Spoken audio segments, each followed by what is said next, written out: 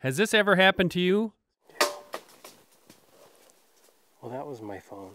Drop your phone and you think every deer in the woods heard it. They probably heard it if they were nearby, but did you know that research from the University of Georgia has revealed that the whitetail's hearing range is not that much different than a human's? A whitetail can hear from 20 hertz to 30,000 hertz, and in comparison, a human can hear from 20 hertz to 20,000 hertz. The difference is humans have small ears, whitetails have those big radar cone shaped ears that allow them to pivot and hear in all directions.